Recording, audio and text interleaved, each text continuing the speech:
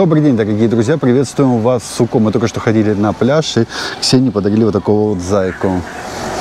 Благодарим великолепных продавцов и, если не ошибаюсь, жену Светлану, одного из них. А сегодня мы вас приглашаем прогуляться на Кипарисовое озеро. Недалеко, именно от Форда, на центральный пляж поселочка Суко. Поехали, прокатимся.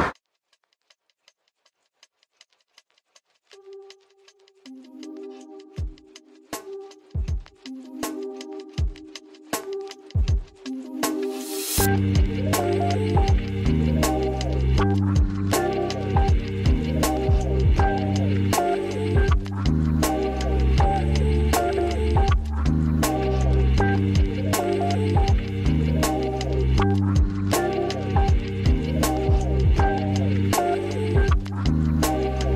доехали довольно-таки быстро. Машинку припарковали здесь на бесплатной парковочке. В сторону усадьбы пасечника, там дегустация, чаепитие, также храброе сердце.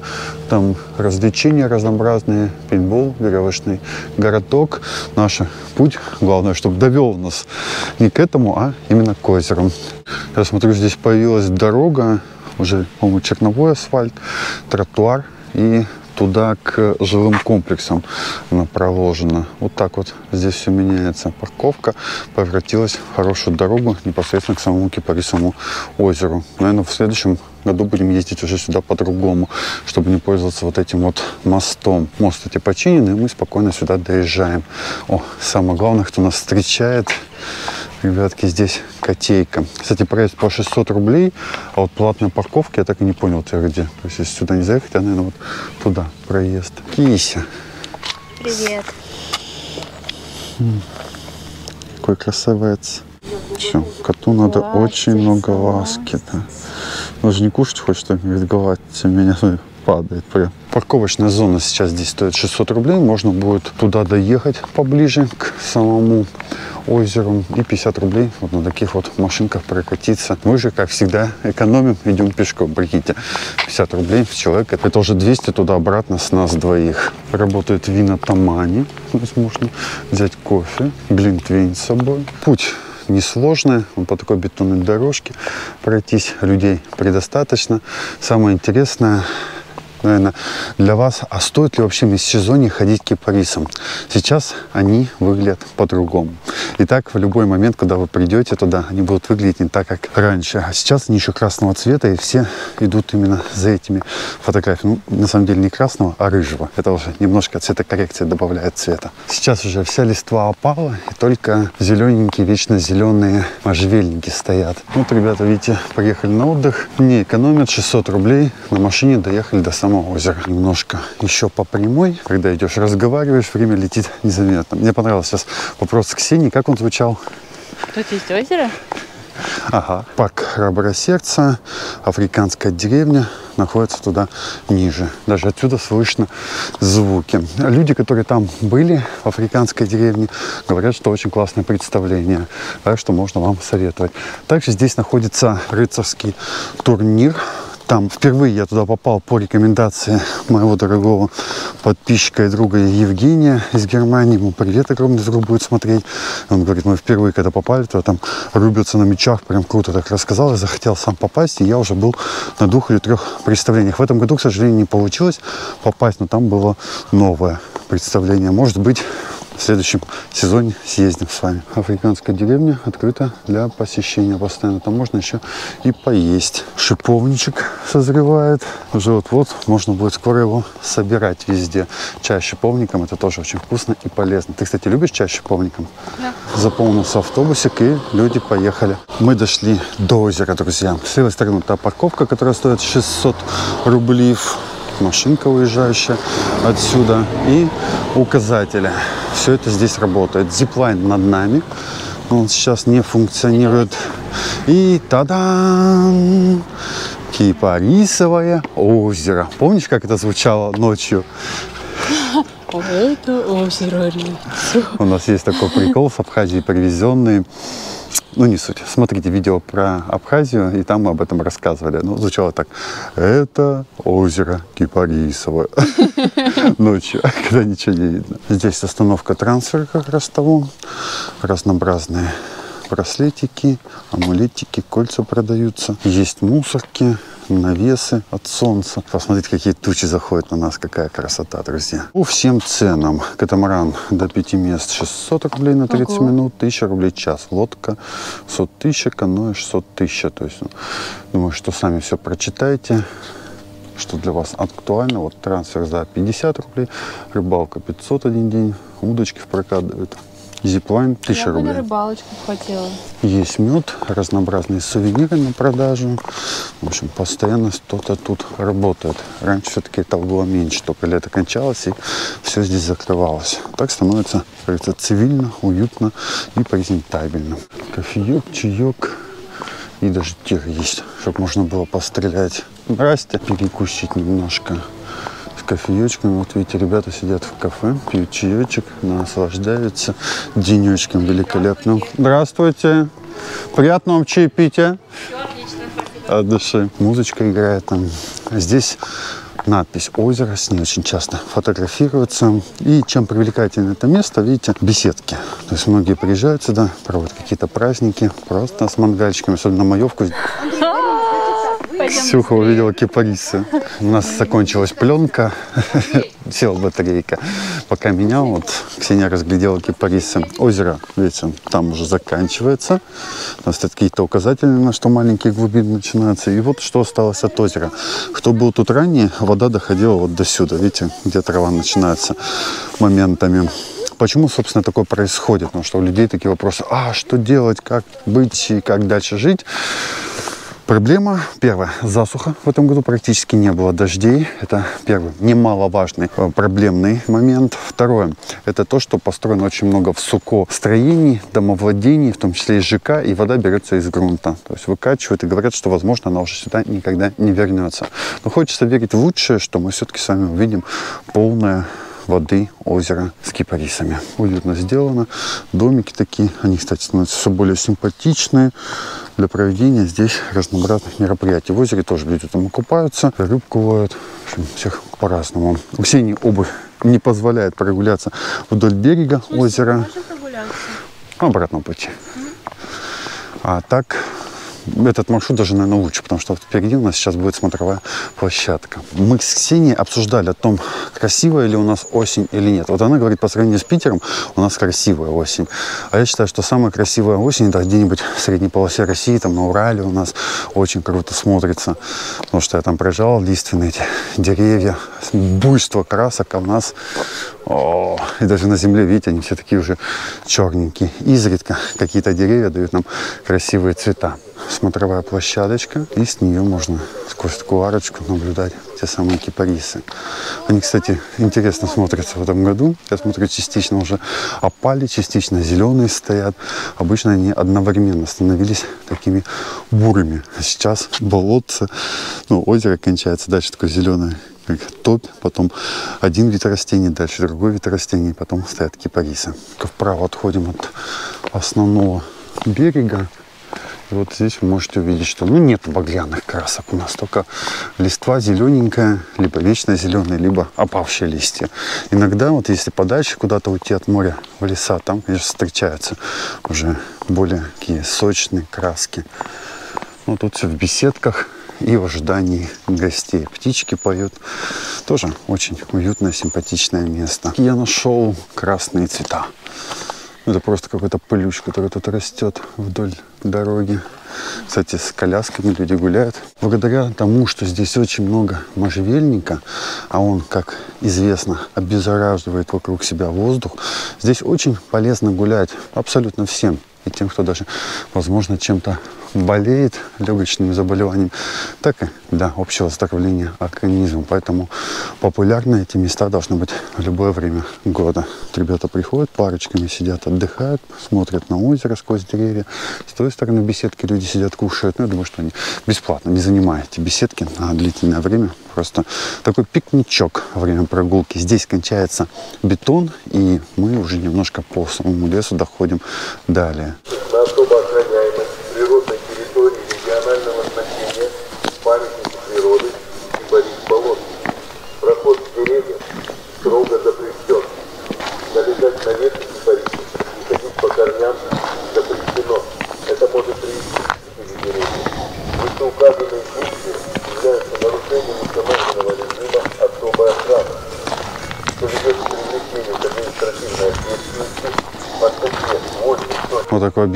идет постоянно. Ну, странно, что людям надо говорить, что лазить по особо охраняемым деревьям это плохо, не будьте обезьянами, там, не убивайте деревья. Это очень странно. Здесь находятся мусорки. Очень классно. Видите, чистота какая вокруг нас. И то, что осталось от озера с левой стороны. То есть таким, наверное, маловодным я его не помню никогда. А здесь уже вырастает новый лес. Причем действительно не просто трава, а вот очень много разнообразных веток. А раньше было моментом, когда мы ходили вот там по верху, а здесь даже пройти нельзя было по краю берега. Представляете, какая разница? Впереди открывается вид на кипарисовые. И немногие знают, что если пройти туда дальше, можно вообще выйти Гайкацор. Представляете, прогулочки сквозь горы. Самое красивое в них это их стволы. Конечно, в этот момент времени все приходят ради цвета хвои, но и вот эти вот корни, такое ощущение, как будто они передвигаются.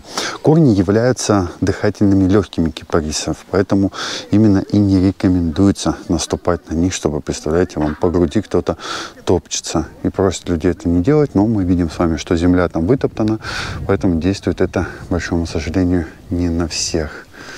Ну, такие вот величественные деревья стоят и ждут, когда будет водичка.